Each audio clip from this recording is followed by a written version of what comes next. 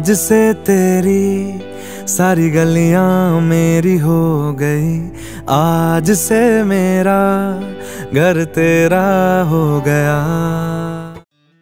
TV की किन्नर बहू, यानी रुबीना दिलाइक ने अपने long time boyfriend Abhinav Shukla से शादी कर ली है।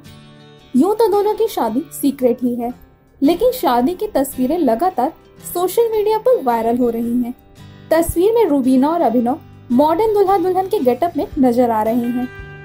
रूबीना का शादी के मंडप में एंट्री करते वक्त डांस का वीडियो भी खूब वायरल हो रहा है।